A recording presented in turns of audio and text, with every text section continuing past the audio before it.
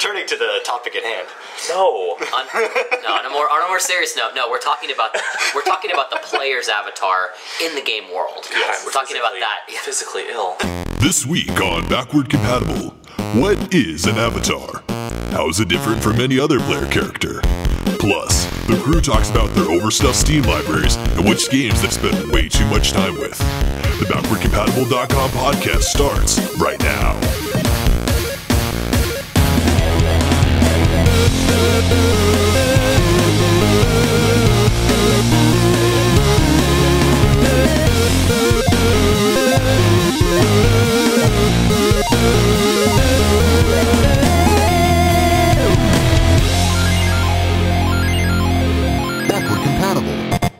All right, so uh, backward compatible listeners, we're back um, for another podcast. This is episode three.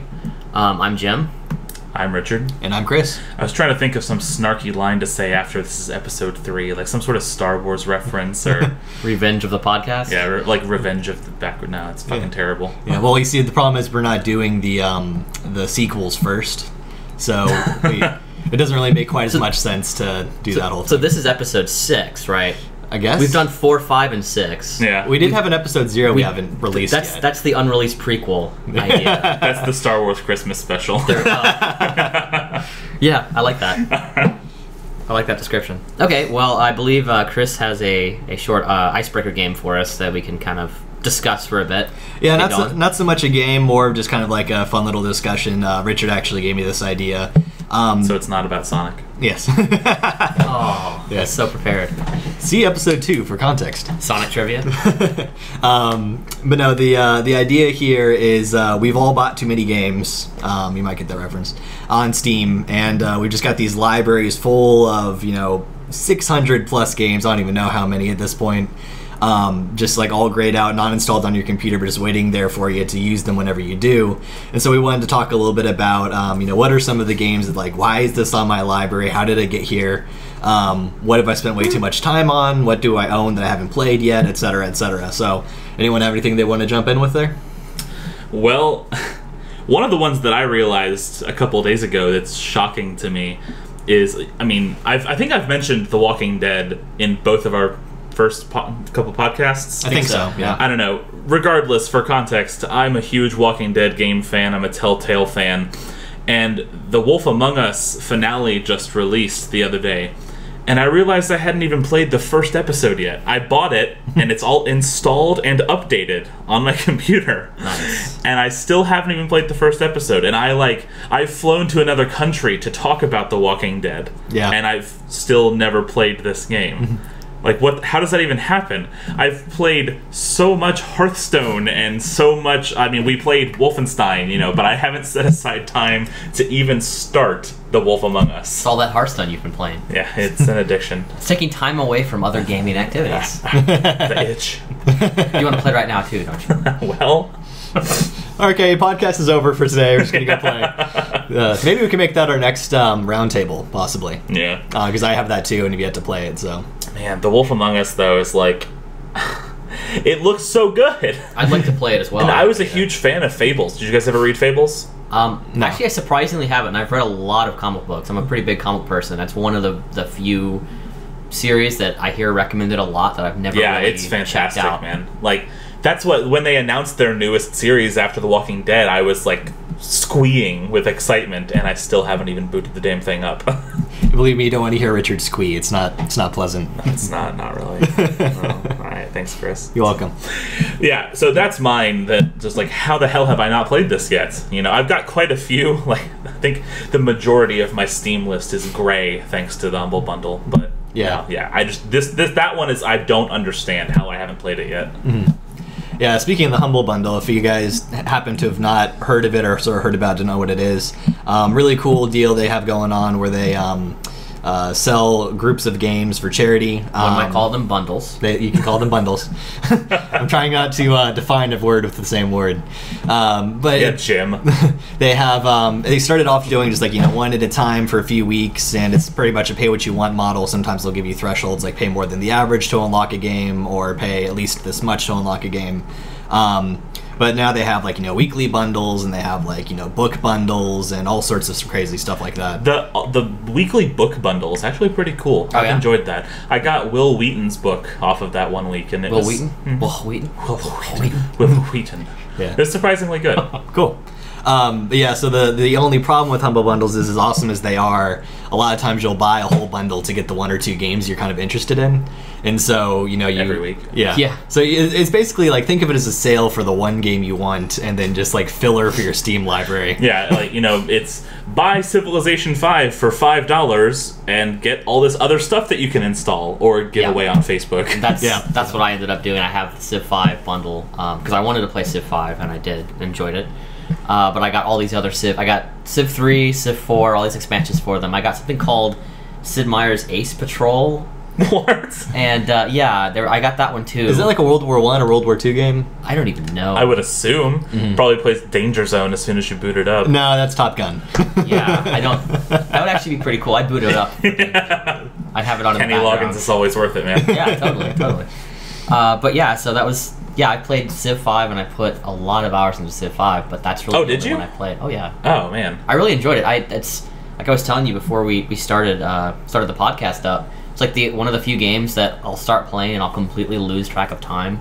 Because you get Oh. that you get that like oh I just wanted to go one more turn and so I'll think ah I got like 30 minutes to play I'll sit here and play and usually I'm pretty good keeping track of time but on this game I will lose track entirely I'll look over at my clock which is usually behind my computer desk and it'll be an hour and a half later and I'll think Well, see, isn't the whole point of the Civ games that you can make your move and then come back to that same game however longer, you know, or however much later you want to? Yeah, it's, Well- it's, it's all turn based. It's turn based, so of course you can save it and then quit and come back. Right. So that's what I was doing. I was playing. I'm like, I got 30 minutes to play. I'll play for 30 minutes, then I'll save it and then do something else. You know, get back to work or whatever I, I also had to do. And if you actually try to play Civ in one sitting, it's a very long game. Yeah, see, that's You what can't. I I've I've had some friends that have you know I've gone over to their dorms at college and been like, you know, oh hey, you playing Civ Five? Like, yeah. The, uh, wait, is that the same game from like a month ago? Yeah. It can be. They can get really long. Plus,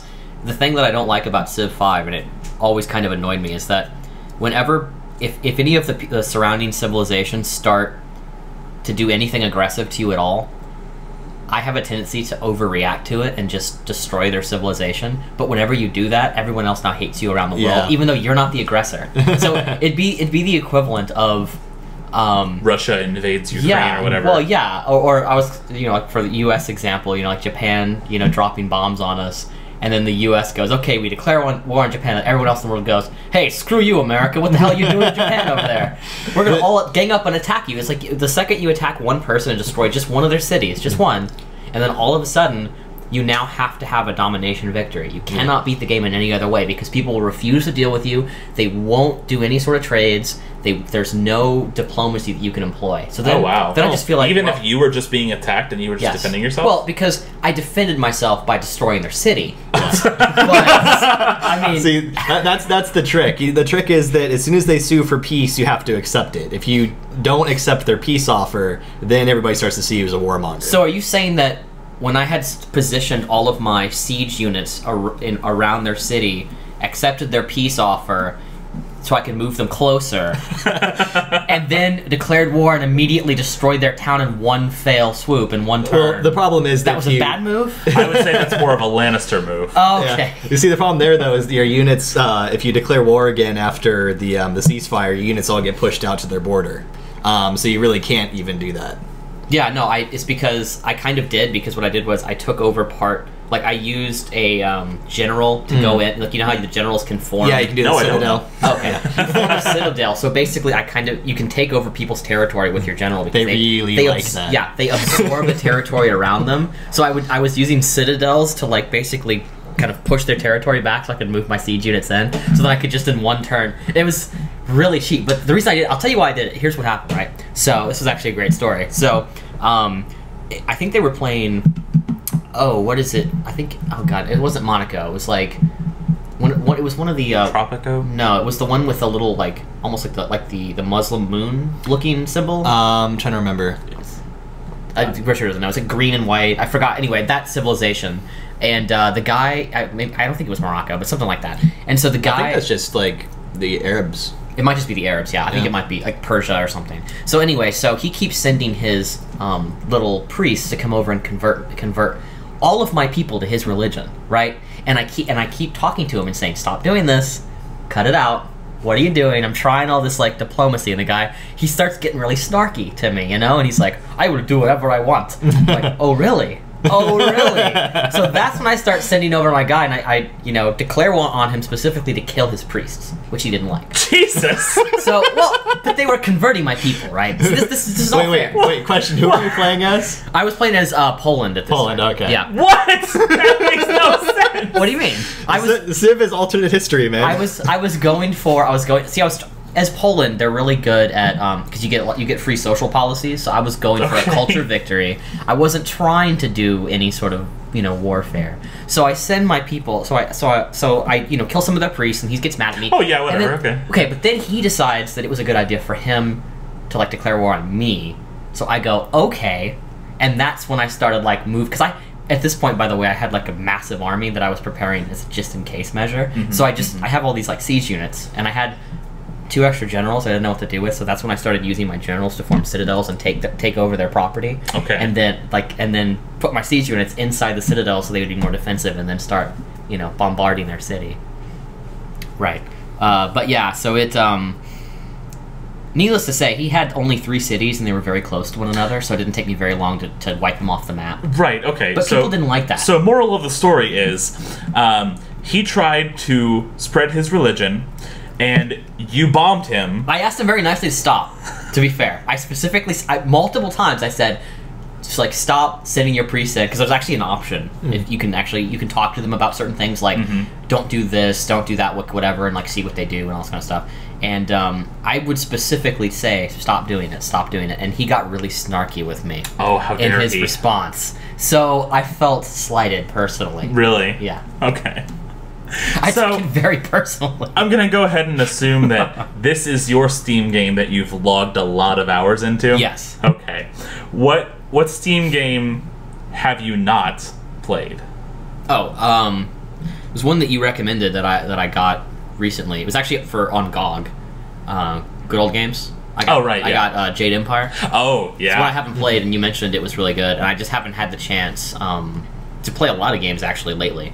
So that one's definitely on my the top of my list to play when I get a chance, but I haven't had a chance to. That yet. still blows my mind. I mean, I, I know we've talked about this at length, but it's like Jade Empire is one of those games that people still talk about. You know, like we still talk about Knights of the Old Republic. Yeah. And Jade Empire is just way better Yeah. than KOTOR. and I loved KOTOR. I'm a huge KOTOR fan, so I'm surprised. Plus, I'm a big KOTOR fan, and I, I know I love martial arts. I love you know martial art movies and, and the movements and everything, and games about martial arts. So it's right up my alley. I just haven't gotten around to it. How about you, Chris? Games that I haven't played that are in my Steam library. Um, a whole bunch. Um, I think actually one of my bigger problems is games that I've played but have not finished. Um, so like Bioshock is a big one.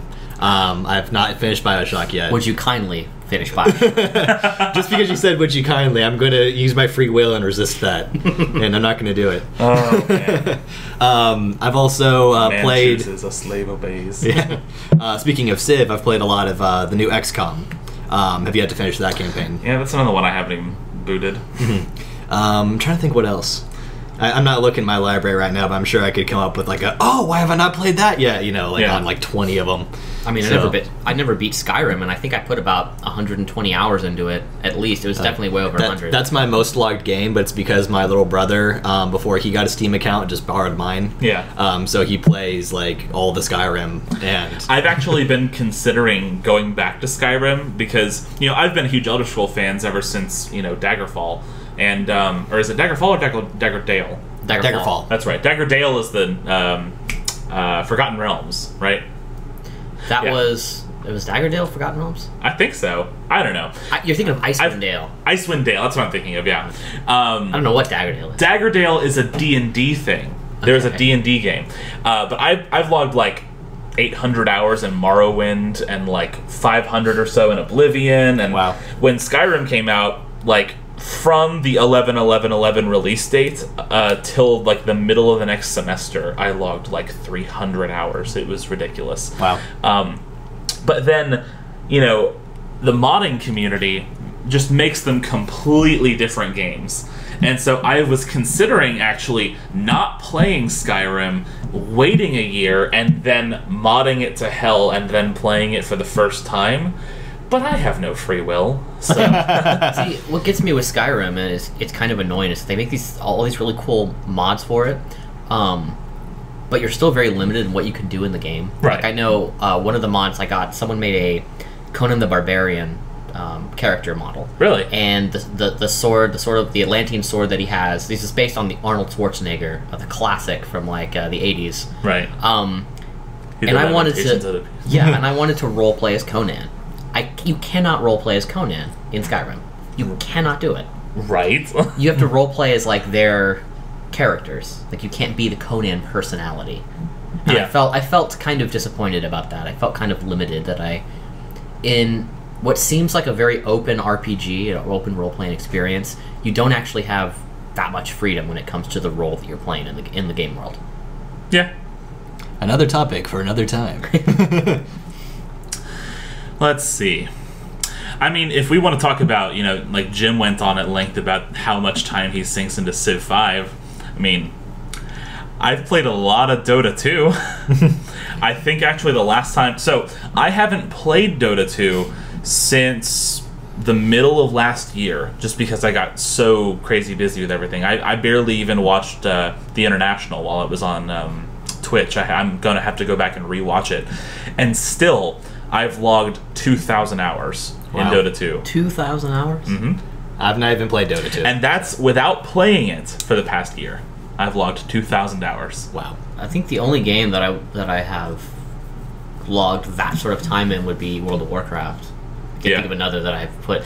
Well, I can't remember. Did we talk about like time played in previous World of Warcraft games in another podcast? We, you, you mentioned that. Did yeah. it? Yeah. yeah, you yeah, the that. one character in Burning Crusade had a year's worth of played time on it. And this is 24 hour days, seven yeah. day weeks. But I mean, a lot of that was, you know, botting and mm-hmm. jumping around in Orgrimmar AFK. But Yeah. yeah. so Dota 2 of all of the like games in my library that just when I mouse over it and I see the time played, it's just like, oh man, what else could I have accomplished in that time? what is my life? How how much better would you be at Hearthstone if you had spent that amount of time? Man. Actually, uh, speaking of Hearthstone, um, Blizzard just posted a new like associate game designer position on for their Hearthstone team, and one of the like essentially the the job skills that they listed were be really good at Hearthstone. And, and really like card games, you know, like you know how most game industry positions they say you have to have shipped titles and whatnot yeah. didn't even mention it in this job listing. And so I was like, man, if I wasn't, you know, planning to pursue a PhD, I'd totally apply for that. Yeah, yeah. Uh, yeah, Hearthstone is one I haven't played that since the um, the open beta, or actually a little bit of closed beta. Um, I've been meaning to get around to playing it, but I have a feeling now that even though it's only been out for a couple of months now, that I would get in there and just be so uh, like outclassed as to like just not even be fun. I don't know. Yeah, yeah, that's fair. What game would you, since you don't sink all your hours into Hearthstone like some of us, uh, what game would you say that you've logged all of your time into?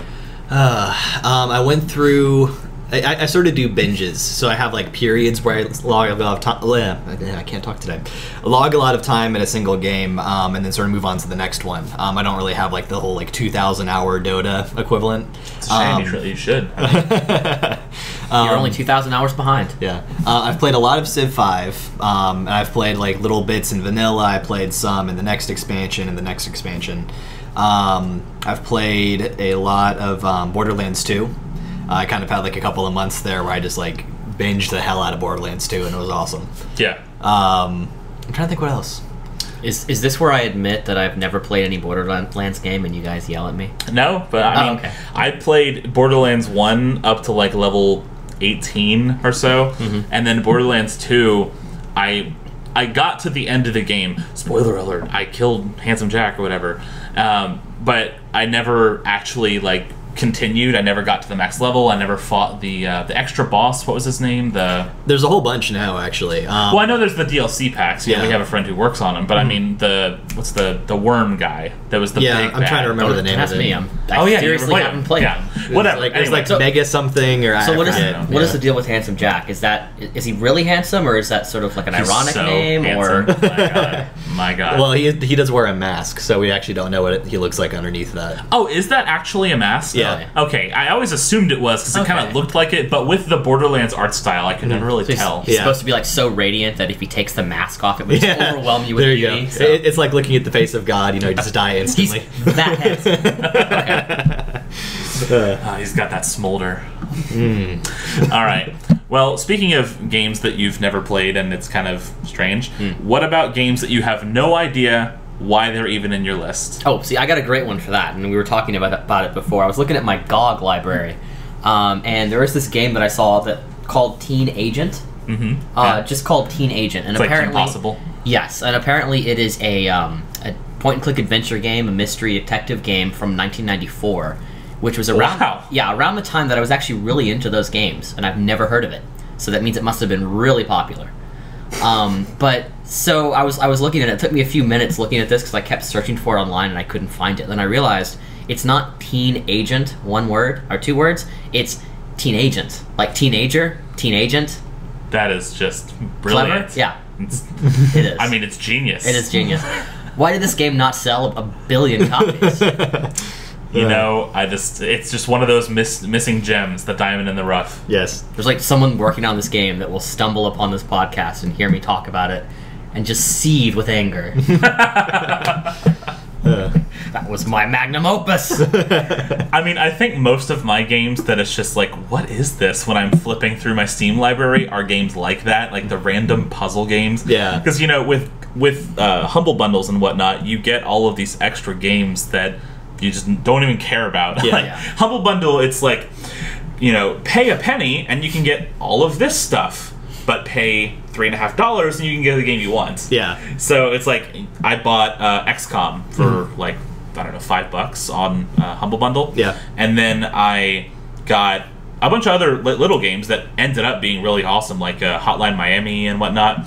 But I was flipping through and I've got like Puzzle Agent One and Puzzle Agent Two. They made Yeah. a sequel, and like I'm not gonna play either of these. And there's like You're holding out for Puzzle Agent 3. yeah, I, I'm honestly just teeth gritted. Wait, can't wait for the announcement at E E5. Does- Do your decisions from Puzzle Agent 1 and 2 carry into 3? I mean, I would assume so. I mean, if it's that good. but, uh, I mean, there's games like Fluffy Bunny Cave Explorer that come in some of these humble bundles that I just like. Is that a real game? I don't know if it's uh-huh. exactly called that, but it's like Because that piqued my interest, actually. there was a game where I don't even remember the title of it, but I was just down arrowing through my Steam library, and the game just had fluffy little chibi characters on it. And it none of my friends had played this game. You know how it says like friends playing this game, whatever. And I had no idea what it was. And I I hovered over the install button, but then thought against it. Yeah, eh, maybe not. Uh, Was it a big install?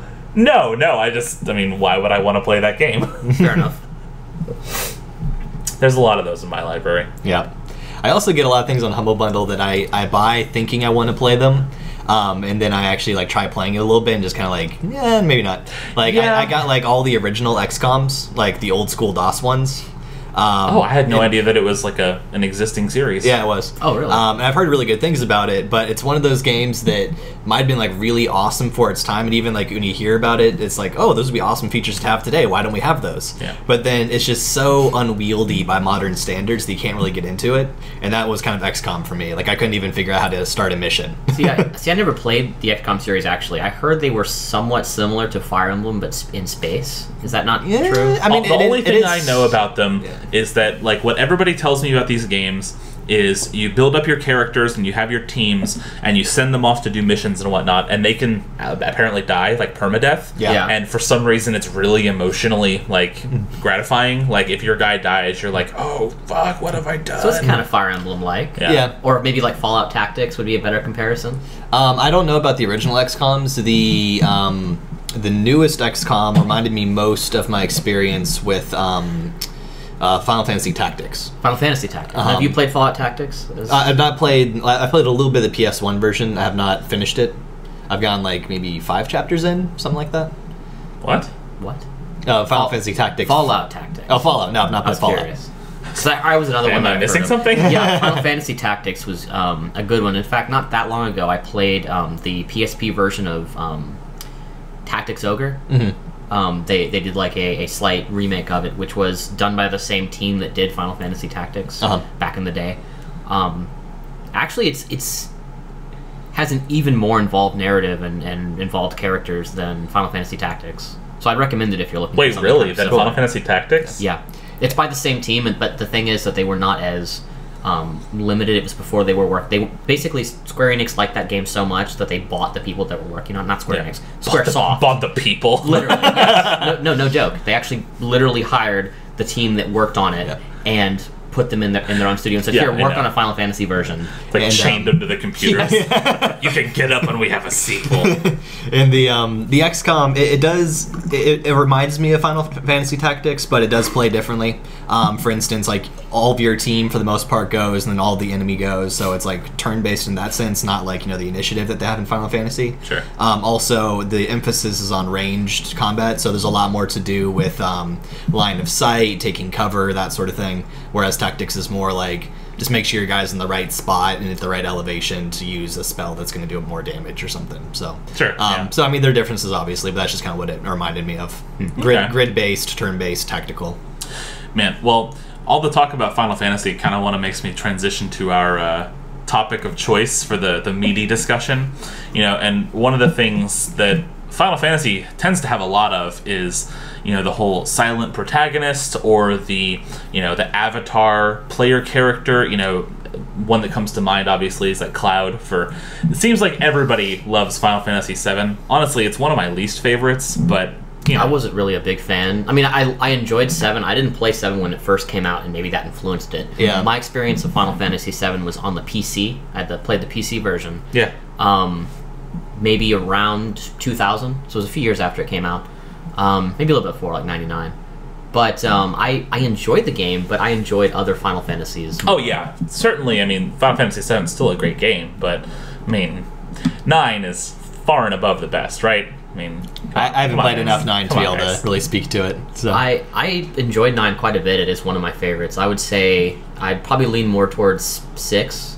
Sure. I probably put the most hours, though, into the original because growing up, that was one of the few RPGs that I had. over, yeah. Yeah, and I played that one on the NES over and over. I played it with multiple teams. I would do challenges where I would try to beat it with um, just a bunch of white mages. Nice. I don't think I actually beat. I'm not sure if I actually won that challenge. To be honest, I might have lost interest partway through. I don't even know if that's possible, honestly. No, it is, but it's it's pretty tricky. Now I did do a an all black belt uh, challenge. Mm-hmm. The little the, the I think they start as black belts and they level up to monks, if I remember correctly.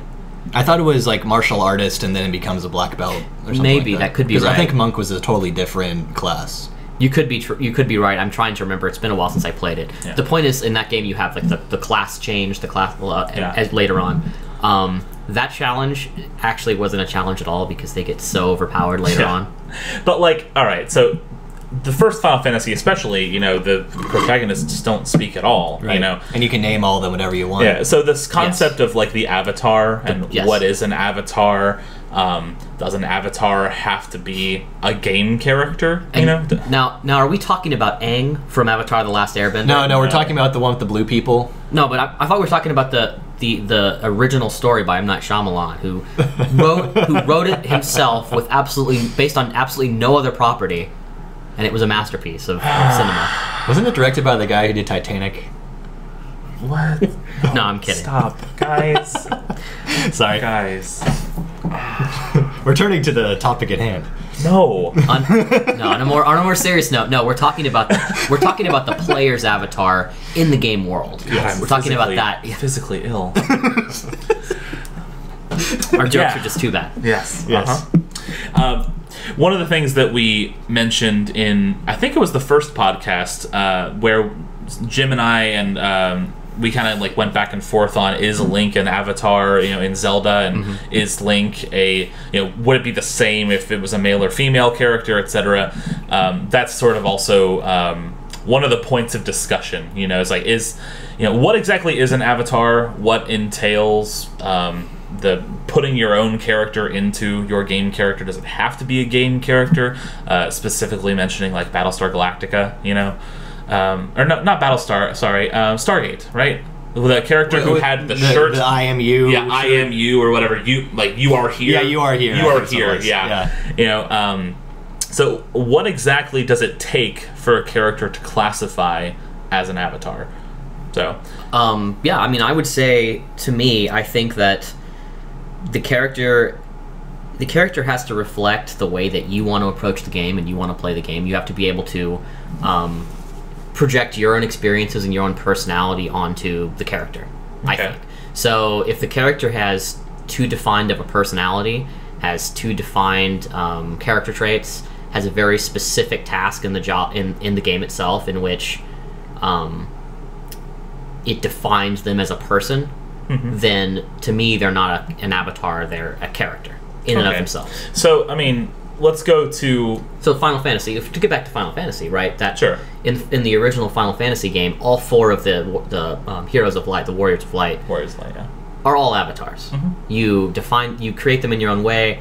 Um, some of the some of the pixel images are not even clear on whether they're male or female. I mean, some lean one way or the other, but you could make an argument for many of them. You're not really sure. Sure. Yeah. So uh, there's you could, and I would sort of create my own kind of story. I'd give them names. I'd kind of pretend that they had little interactions, but Yeah. they really didn't. They No. didn't.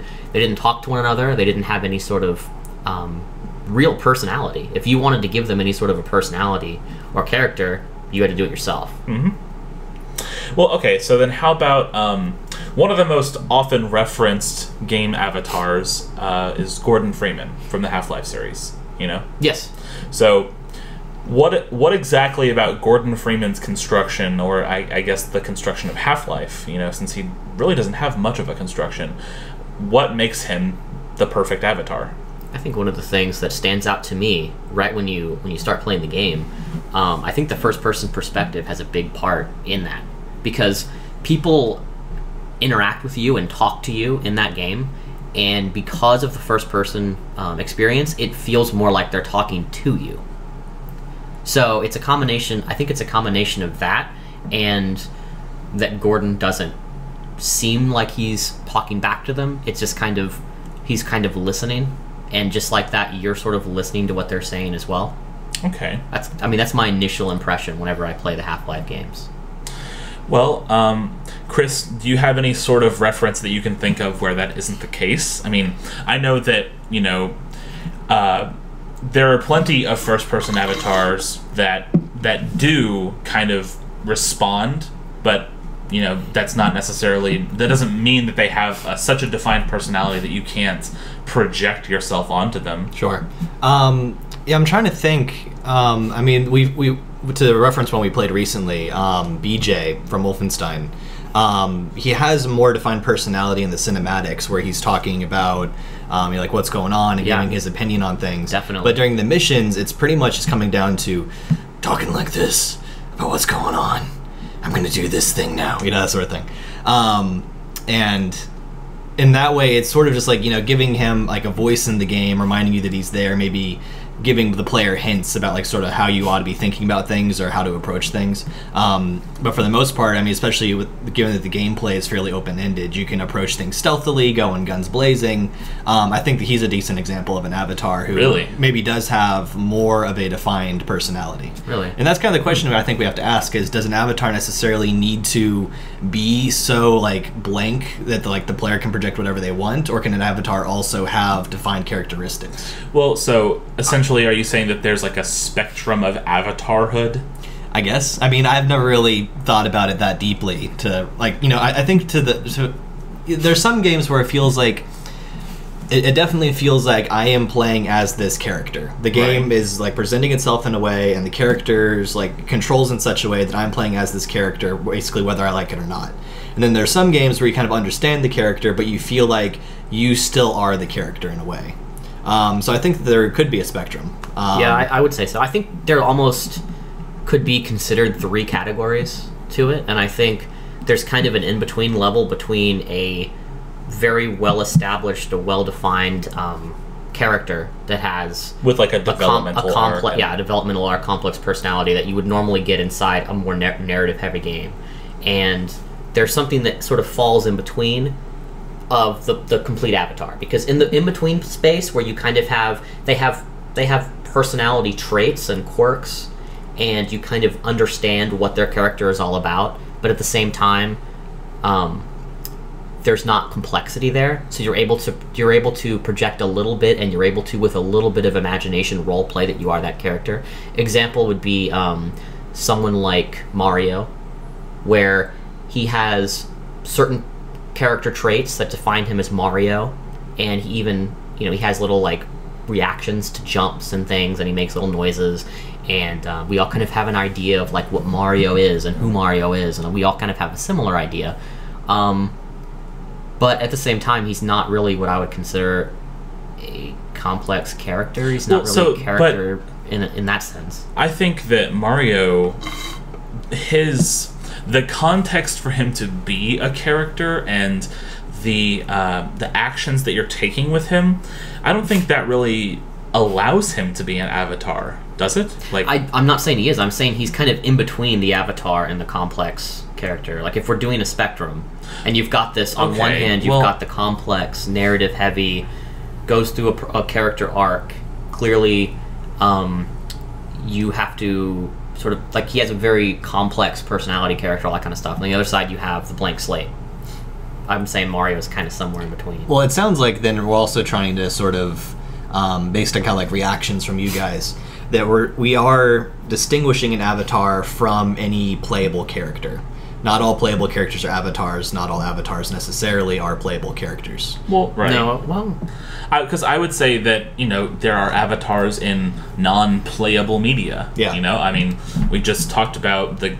I can't remember. Is it is it Stargate or is it Battlestar? One of the two. I don't One know. of the two. it's not. It's not Battlestar no. because was I it like SG One or something? Yeah, like I haven't seen Stargate, and I have seen Battlestar, and that's Oh, how I know that there I you know go. what you're talking about. Anyway, there's this character in the show that's like he wins a contest to join the crew, and you know um, he's not really supposed to be there. He's not like personnel. He's not trained, and the whole time he wears this shirt that just on it is like "You are here," and it's this really heavy-handed message to the audience. It's like this guy's you. You're in the show. Yeah, Get but- involved. But see, I think that's different. That's that's a self-insert, and that's and that to me is different from an avatar because I think the avatar is meant to be you. That is you in the game world, and you have to be able to interact. So I think I think when you're talking about media that is non-interactive, you can only ever have a self-insert. I don't think you can have an avatar.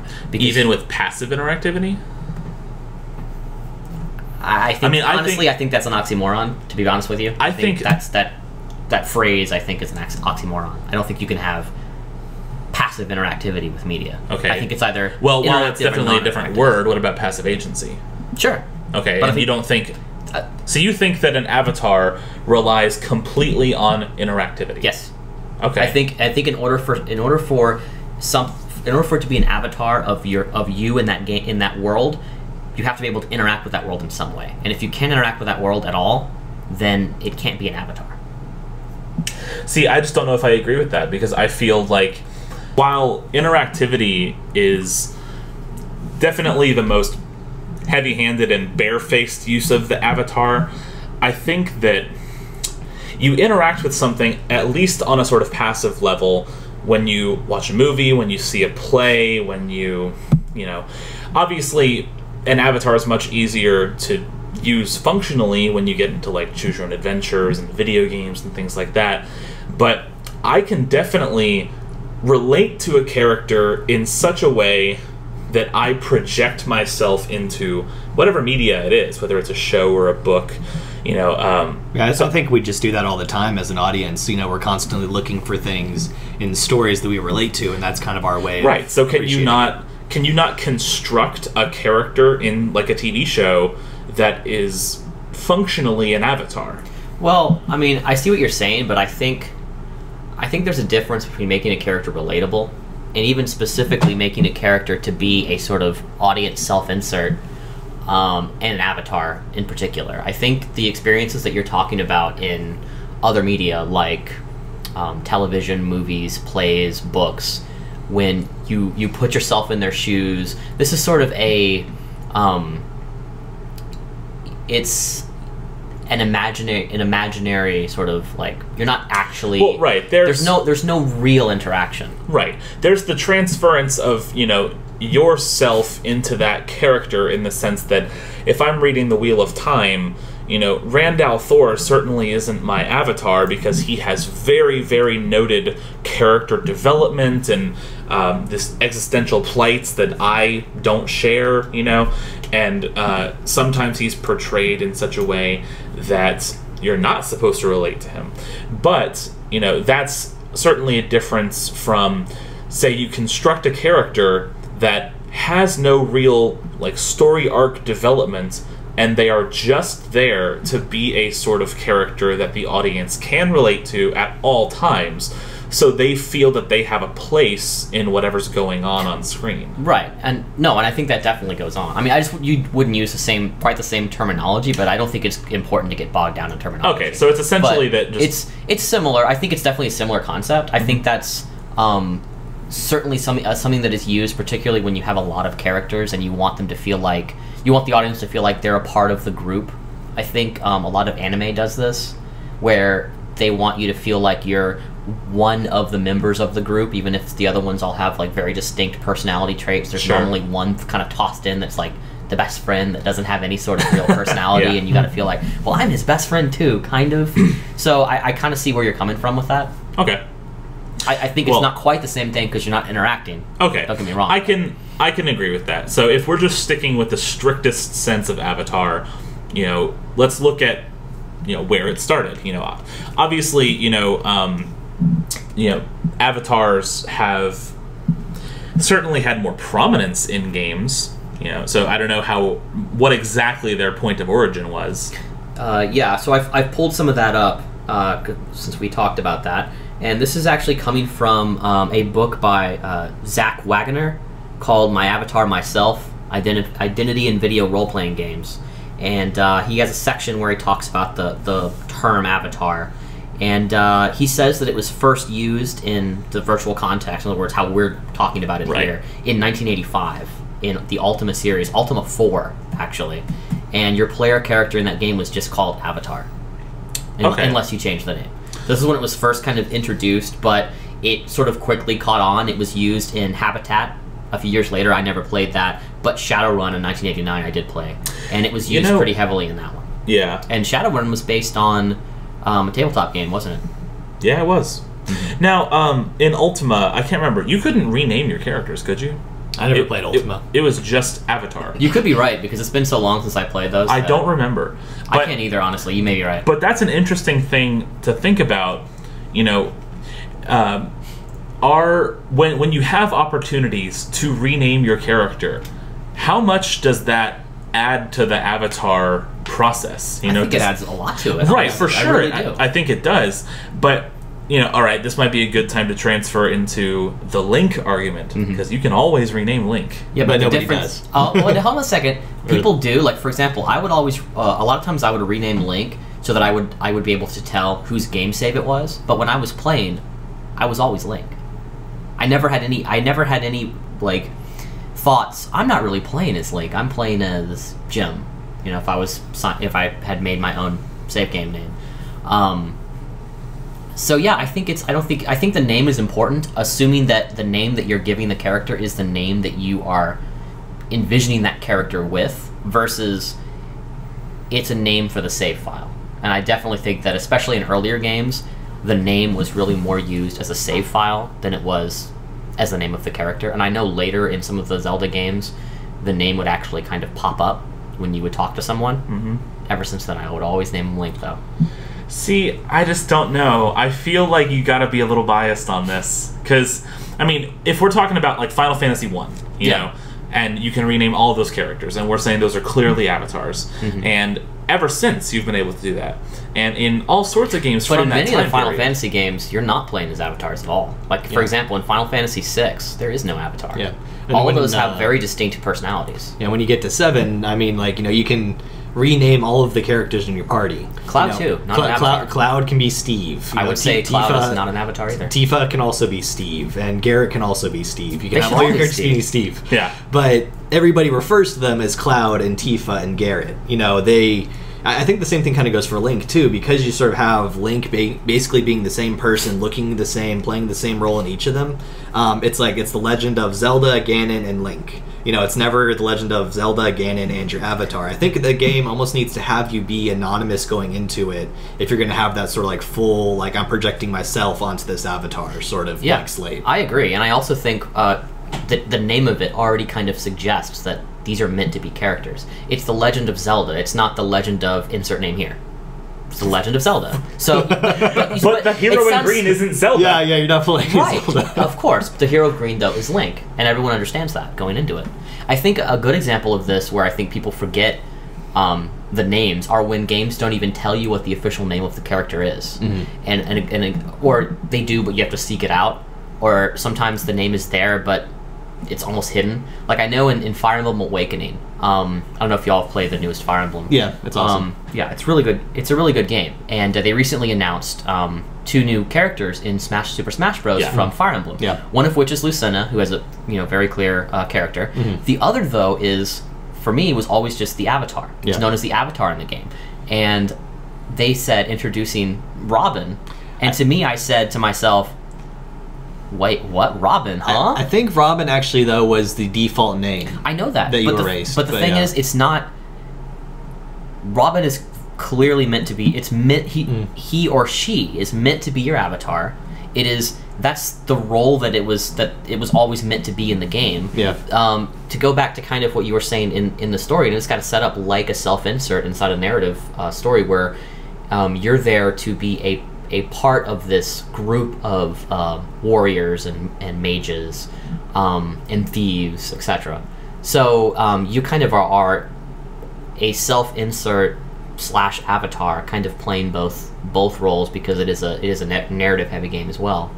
Um, but yeah, I thought that was one of those times where um, I don't think anyone. I think I'm not the only person that had that reaction to seeing the name Robin and thinking that's not that's not the right name. Mm-hmm. but I would challenge you to think of to name or find one person that would see Link in a video game and go, "That's not Link. That's Yeah. X." Sure. You Okay. s- I That's mean- that's a fair argument, but I mean that's also Fire Emblem's main character is not advertised wildly as being Robin, whereas Link is called Link by everybody, like even Nintendo themselves. Right, because Link is a character. That's that was that's kind of my point. I'm not going to say that Link is the the very developed character at all. I think Link is kind of more like Mario, where he has certain defined traits. But like Gordon Freeman is always Gordon Freeman. True. Like I- that. yeah. Just because the character has a name attached to them and they have a narrative Mm-hmm. attached to them doesn't mean that they can't be an avatar. Yeah, and that's that's my argument Like- too for there being like different levels because I think that you can have a character that's still predefined, and if we're sort of treating the avatar as the avatar is my way into this game space, Right. Then it's still an avatar. Like I would say that Link as a character is canon, but I certainly think he's an avatar because you have like you have all of these consistent elements. Of course, you have Zelda and Ganon, and you have the danger or whatever. Mm-hmm. But with Link as an avatar. He's ever just the hero in green. Even in like the direct narrative that they present you in every Zelda game, in the cutscenes, in the the legends, in the mythos, it's always just the hero in green or the hero but of what time, does- depending. or the hero right. of time. But yeah. what does Link do in the game? save Zelda? Right, but also like you can't go into towns and just kind of decide to I don't know like burn down the village. You, I think there this are is a certain- straw man argument. I well, think, but I think you're you're a particular you are a, you have very defined personality traits. I mean, you're not a complex character; you're a simple character. But Link has certain personality traits that I think define him as a character. He's heroic. He's courageous. He's adventurous. He, um, the way that he, for example, the way that he um, interacts with enemies when when an enemy comes up to approach Link, you fight the enemy. You kill the enemy. There is no You do could I- run. Yeah, you well maybe you could run, but you know generally speaking, that's not what you would do in, in a Legend of Zelda game. It's set up to you're there, you destroy the enemy. There is no I'm going to reason with the enemy. I'm going to Gordon react Freeman in can't reason with way. the Columbine soldiers Yeah. or Combine soldiers. Yeah, that's True. true. Gordon Freeman just shoots people. Yeah, I mean sometimes too your avatar again like going on that scale. Some games are more open, others some are more closed. Um, your avatar, I think, is like on its most basic level defined as this is who you are in the game. Right. And if it's that simple, then it could be like Well, but if it's that Just- simple, then it has no definition because that's every game. Every protagonist is who you are in the game. Well, no, I would say there's a difference between who you are and who you're controlling. I think in Okay. like you mentioned that in Final Fantasy games you have these like very strict characters because they exist within a very developed narrative and I agree. While you can rename them, it's not you inserting your personality onto them. It's you are playing as Tidus. You But are see, but that's my argument. That's my same argument with Link. You're not inserting your personality on Link at all. Link has certain character traits, and you have to emulate those character traits when you play Link.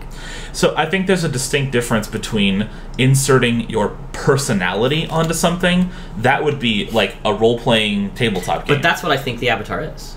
I I disagree. think that's what it is. It's, I think the avatar is your way of interacting with the world. So if we're talking about avatar in the sense of what I would say Link is an avatar, you don't have, you know, your you want to climb to the top of Hyrule Castle and just run around. Like, you know, if if I was playing an open world, totally like the rules are very fast and loose, you know, I would be jumping on top of Orgrimmar Bank right now in World of Warcraft. I would do the same thing as Link. I just try and climb all over Castletown. Yeah. Mm-hmm. But you in know, World of Warcraft. That's definitely one where you. That's an Avatar. Right, sure. But just because you can't go beyond the rule set in Zelda doesn't make Link less of an avatar.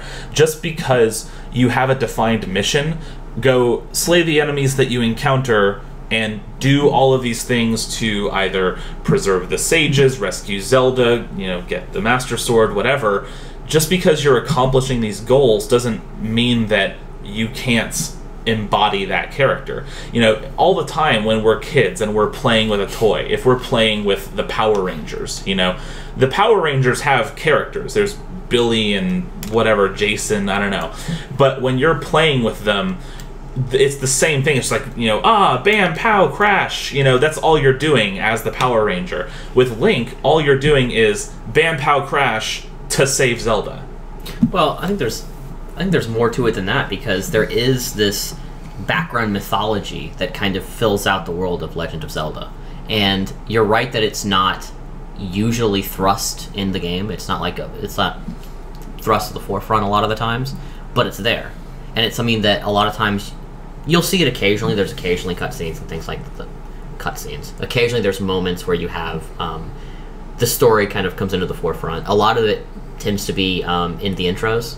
Like I know, um, for example, in the Wind Waker intro, they have the whole kind of background of the mythology Okay. of the character, and I think that's where you sort of see the character of Link. See, but I, I, I don't see how you can see the intro cinematic to Wind Waker and think character because they never once like give him a name in that intro. They never once describe his personality. Well, it's not the well, yeah, he's the hero. It's like look, if when I play when I when I play Legend of Zelda, I'm not playing as me. I'm playing as Link. when I hear the hero, Yeah. that screams Avatar. Well, there's more. There's more than just the hero. I'm just saying that's one. No, there isn't though.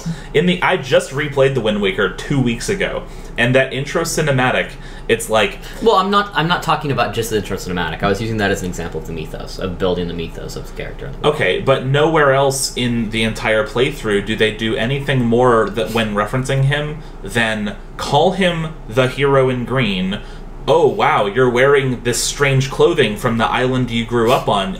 Like you're weird. Or oh, you must be the hero in green. Hmm. Or the name that you entered in your save file. Hmm. There is no established character for Link in in. Well, I think you're getting too bogged down by the whole name issue I don't think I am. because you keep mentioning.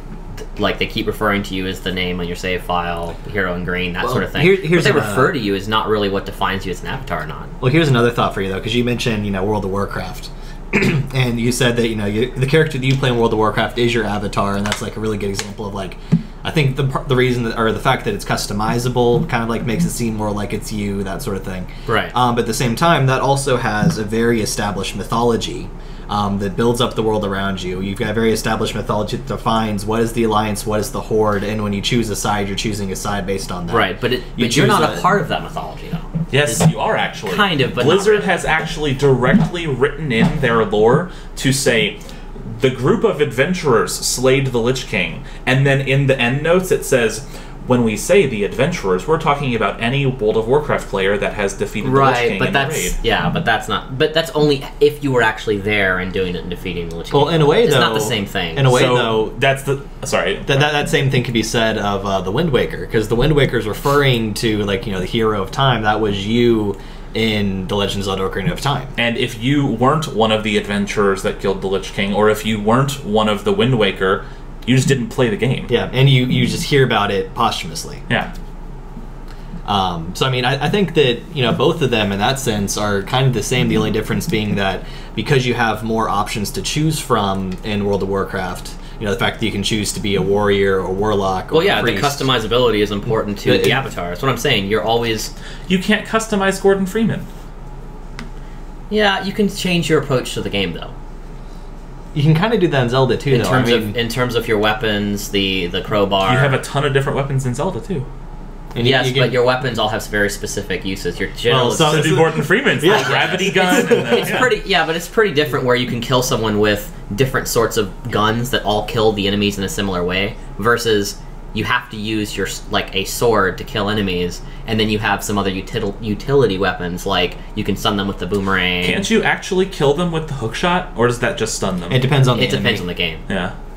And, Uh, and then you have like the bow and arrow mo- and the and the bow and sling arrow. and- Most of them are utility though. Like you don't kill it, you don't kill really anything with the sling. It's more of a um, stun. Okay, sure, but I mean, I think all of these are just really trying to nitpick to find ways that he's not an avatar. yeah, I mean, my, my thought, and I'm going back to what I said already, I think my definition of Avatar personally is um, more of an open thing. It's more about, like, this is who I'm controlling in the game, therefore it's my avatar. And then I'm, like, I'm, I'm open to having a whole bunch of different asterisks. Like, in this game, your avatar is more customizable. In this game, it's more defined, that sort of thing. But at the same time, um, like, and I think a lot of it too just has to come down to the presentation in the game of how much they make it feel like it could be you, and how much they're telling think- you this and, and I agree, and I do think I definitely I do agree that I'm biased on this issue. I'm not going to deny that for sure. I'm not denying that. Fair enough. But I do I do think presentation does because I think you touched on something. I do think that does factor into it quite a bit. And Yeah, I for think sure. when when you're when you're presented with a game in which right off the bat you're given a lot of customizability in terms of how you build your character. Mm-hmm. If you're choosing your your class, your race, your gender, um, what sort of clothing that you're wearing, your hairstyles, you know, all these kind of different different things about you. Um, automatically, you're encouraged to think of this as this is who I am in this world. Similar to a tabletop role playing game when you have all these different options of what do I want to look like, what kind of role do I want to play in this party, what kind of weapons do I want to use, etc. Sure, sure. Versus you are uh, in this game, I'm going to play Link. In this game, even for something like, you know, or like a Final Fantasy example, I'm going to play Cloud, who's a silent protagonist. Or, uh, or like Chrono and Chrono Trigger. Chrono. You know, these, these guys are, I think, kind of like. I would I would put them in a middle category. I wouldn't Yeah. go so far as to say that they're um, and es- established characters, but I don't I don't think they're quite avatars. I think there's I, I'm kind of Well, I'm, not- I'm I'm arguing- with you. I'm arguing for middle categories. I'm with you I'm that I think that Cloud is not an avatar. I think that he has very like projective qualities because he's a silent protagonist. Yeah. But he has direct narrative reasons to do the things that he's doing. Like he has, you know, his history with Sephiroth, he has the reactor at Nibelheim, you know, et cetera, et cetera. You talked about presentation. Let's go back to Wind Waker. In, in that presentation, Link's sister gets kidnapped and, you know, on the, the Dragon Roost Island, Yes, whatever. yeah, yeah. You know, and then he saves her, and then what's his motivation? There's no, like, you know, Link, you have been raised to be this hero. Now mm-hmm. go and do this thing. I think, and, but I think that's more an example of like a looser narrative from Nintendo because some some of the earlier uh, Legend of Zelda games were a bit more clear in that. Um, a lot of it came from the manual, admittedly, but they gave you a reason. Uh, I know in um, the Adventure of Link, inside the inside the booklet, it talks about how. Um, because you had killed Ganon, the only way that Ganon can return to life is if you're captured and your blood is taken and is used to revive him. So part of what you have to do to destroy Ganon forever is to go to each of these temples and insert the crystals to turn, you know, to, to destroy these temples. You can unlock the final, uh, what is it, Temple of Time, and go in there and finally defeat whatever. so Okay, Ganon- but now we're getting into non-diegetic elements, and No, it's actually in the game. Like if you wait at the at the beginning of um, the intro screen of the game and you pause for a bit and don't start the game, it actually scroll, text scrolls the story that I just Well, described. I- is that still? I- I don't know I think that's I think- non-diegetic. Well, I don't, I don't know if non-diegetic is the right word because it, it is diegetic. Yeah, it's it is in still, the game. It's still in the game world. and the elements are in there too. Like whenever you die, it'll it'll specifically say "Return of Ganon." It's referenced in the game.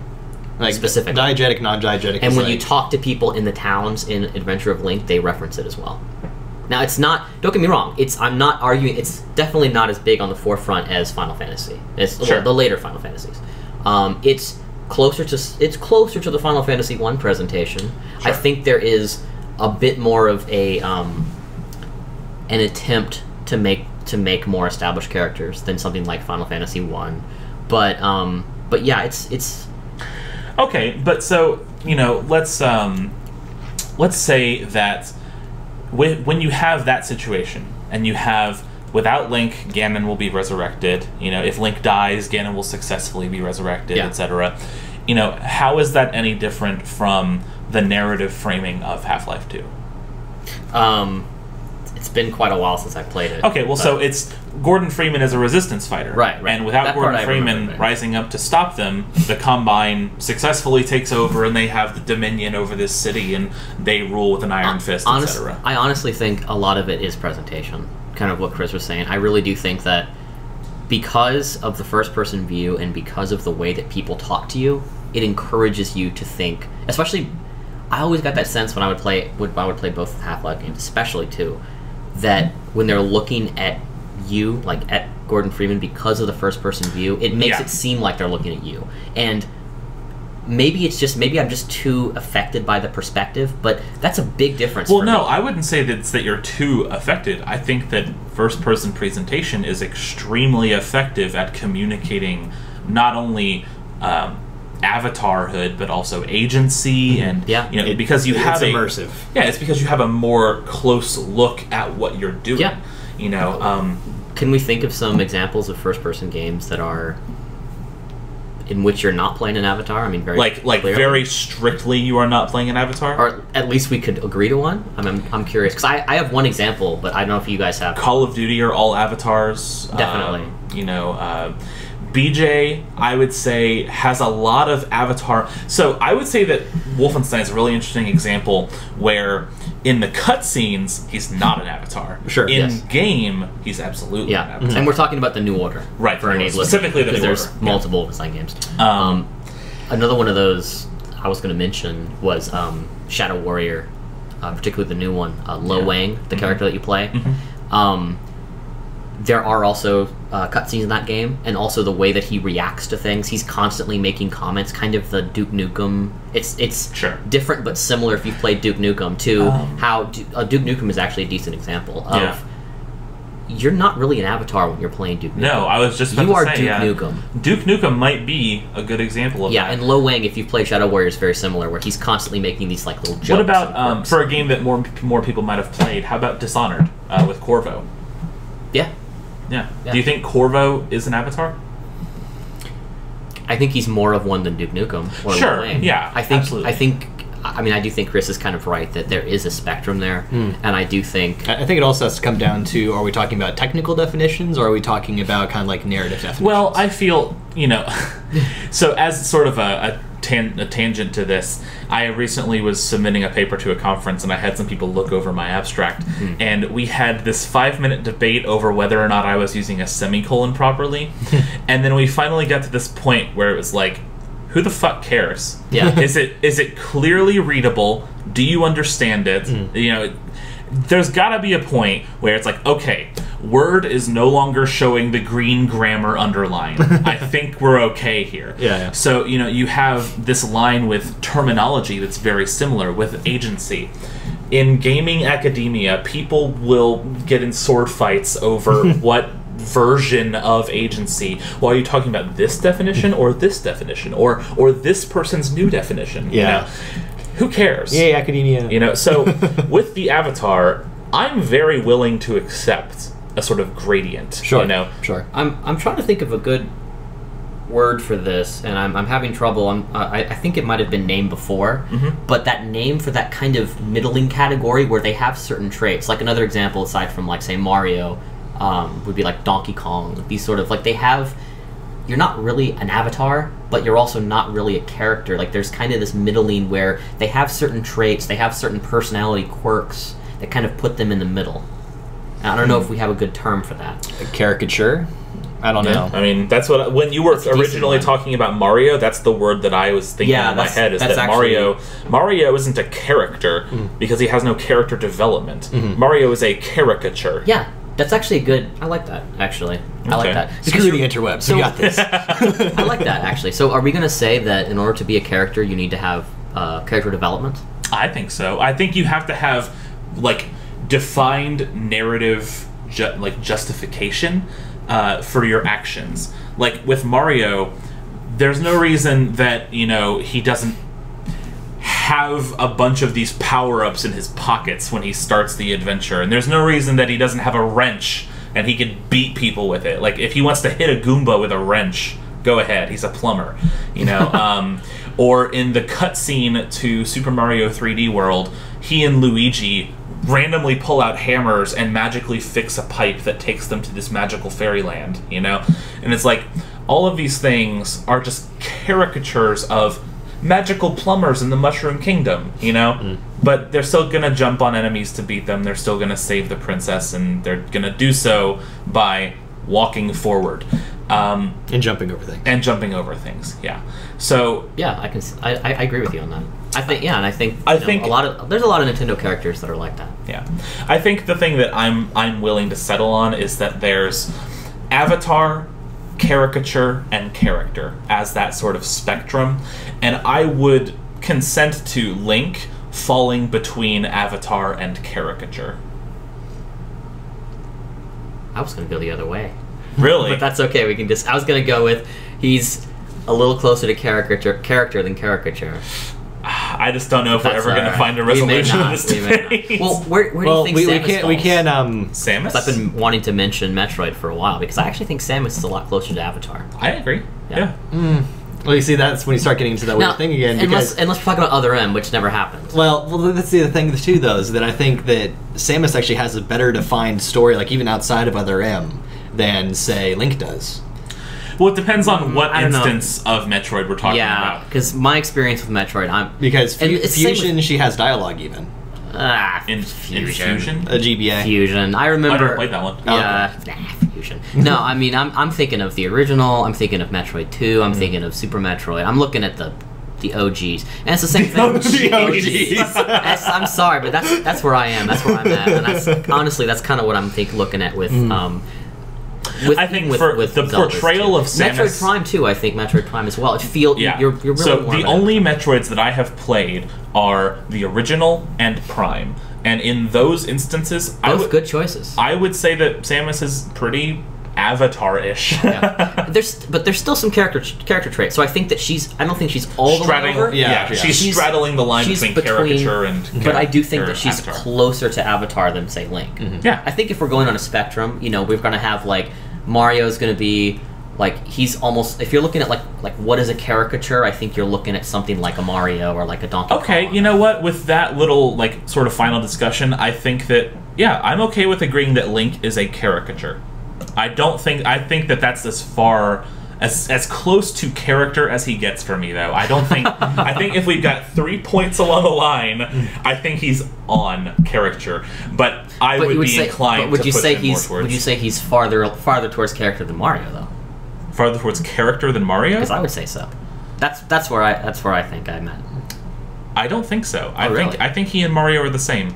and really, they can't both occupy the same well, point. in the actually, a lot of it does depend on which game we're talking about. yeah, that's because also because true. Mario has been better defined in certain games. Yeah, but I mean, these are like fringe cases that Sure. honestly a lot of people consider to be betrayals of the character. Right, Yeah. right. I mean, like we don't consider Link's animated uh, stint to be Well, an excuse accurate. me, Richard. Ah, you stole it! Damn it! Yeah. But um, no, I mean, I, I, I see where you guys are coming from, and I, I do canon. I do like that character caricature avatar thing. But my thing though is like I, I almost want to find another word for avatar because I see the entire spectrum as these are all avatars, um, and like the pure avatar, whatever it is at the end, I think Yeah. almost needs a different word. I mean, that's just me though, because I, I, I sort of like want to adopt the technical sort of broad-based term. Like an avatar is the person I'm controlling in the game. so like, uh, I don't want to say persona. Well, I think.